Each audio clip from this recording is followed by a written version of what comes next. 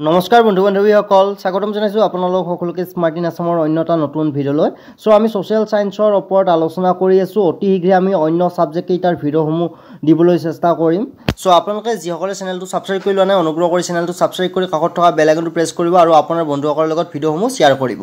চ' ভিডিঅ'টো আৰম্ভ কৰাৰ আগমুহূৰ্তত আপোনালোকক আমি এই গাইডবুকখনৰ কথা জনাবলৈ বিচাৰিছোঁ। চ' এইখন হৈছে S C R T D El Ed pre N T টেষ্টৰ কাৰণে প্ৰস্তুত কৰা পি ডি এফ গাইডবুক যোৱা বছৰ প্ৰকাশ কৰা হৈছিল এই গাইডবুকখন চ' ইয়াতে যোৱা বছৰ আপোনালোকৰ এই গাইডবুকখনৰ পৰা minimum eighty percent question answer common আহিছিল আৰু ইয়াত আপোনালোকে চিলেবাছ অনুসৰি আটাইকেইটা ছাবজেক্টৰ কুৱেশ্যন এনচাৰ অসমীয়াতে লাভ কৰিব। মিনিমাম পাঁচৰ পৰা ছয় হাজাৰ কুৱেশ্যন এনচাৰ ইয়াতে আপোনালোকে লাভ কৰিব মোবাইলতে পঢ়িব পাৰিব।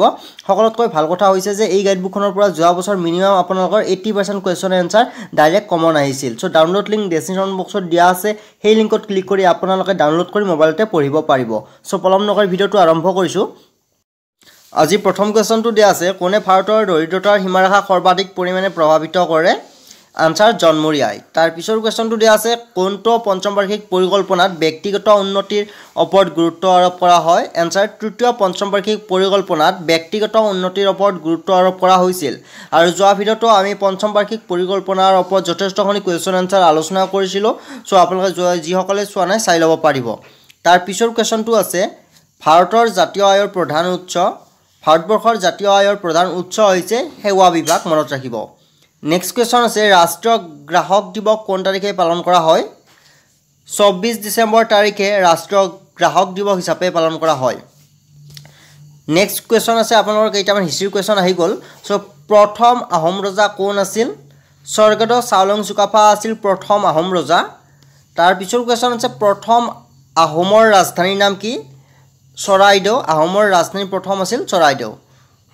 নেক্সট কুৱেশ্যন আছে জয়দৌল কোনে নিৰ্মাণ কৰিছিল? স্বৰ্গদেউ ৰুদ্ৰসিংহই জয়দৌল নিৰ্মাণ কৰিছিল। তাৰ পিছৰ কুৱেশ্যনটো আছে শ্ৰীমন্ত শংকৰদেৱৰ জন্ম কোন চনত আৰু ক'ত হৈছিল? চৈধ্যশ ঊনপঞ্চাছ চনত অসমৰ নগাঁও জিলাৰ বৰদোৱাৰ আলিপুখুৰীৰ নামে ঠাইত শ্ৰীমন্ত শংকৰদেৱৰ জন্ম হৈছিল। চ' শংকৰদেৱ মাধৱদেৱৰ ওপৰত আপোনালোকৰ যথেষ্টখিনি কুৱেশ্যন আহি থাকে গতিকে আপোনালোকে মন কৰিব। নেক্সট কুৱেশ্যন আছে প্ৰথম আহোম বৰবৰুৱা কোন আছিল? মোমাই তামুলী প্ৰথম আহোম বৰবৰুৱা আছিল। তাৰ পিছৰ কুৱেশ্যন আছে কোনজন আহোম স্বৰ্গদেৱে বৰপাত্ৰ গোহাঁই পদবী সৃষ্টি কৰিছিল? চুহুংমুং ৰজাই বৰপাত্ৰ গোহাঁই পদবী সৃষ্টি কৰিছিল। তাৰ পিছৰ কুৱেশ্যন আছে কোনজন আহোম স্বৰ্গদেৱে পোনপ্ৰথমবাৰৰ বাবে বৰফুকন পদবী সৃষ্টি কৰিছিল? স্বৰ্গদেউ প্ৰতাপ সিংহই পোনপ্ৰথমবাৰৰ বাবে বৰফুকন পদবী সৃষ্টি কৰিছিল। এই পদবীকেইটা আপোনালোকৰ আহি থাকে। চ' বৰপাত্ৰ গোহাঁই পদবী সৃষ্টি কৰিছিল চুহুংমুং ৰজাই বৰফুকন পদবী সৃষ্টি কৰিছিল স্বৰ্গদেউ প্ৰতাপ সিংহ। নেক্সট কুৱেশ্যন আছে। কোনজন আহোম স্বৰ্গদেৱে উমানন্দ মন্দিৰ নিৰ্মাণ কৰিছিল? স্বৰ্গদেউ গদাধৰ সিংহই উমানন্দ মন্দিৰ নিৰ্মাণ কৰিছিল। তাৰ পিছৰ কুৱেশ্যন দিয়া আছে কোনজন আহোম ৰজাক বামুণী কোঁৱৰ বোলা হৈছিল বা বোলা হয়? চুডাংফা বামুণী কোঁৱৰ বুলি কোৱা হয়। নেক্সট কুৱেশ্যন দিয়া আছে থদৰ আলি কোনজন ৰজাই নিৰ্মাণ কৰিছিল? থদৰ আলি স্বৰ্গদেউ গদাধৰ সিংহই নিৰ্মাণ কৰিছিল। চ' আজিৰ ভিডিঅ'ত আমি এইকেইটা কুৱেশ্যন আলোচনা কৰিলোঁ। যিসকলে আমাৰ গাইডবুকখন কিনিবলৈ ইচ্ছা কৰে আপোনালোকে কিনি ল'ব পাৰিব।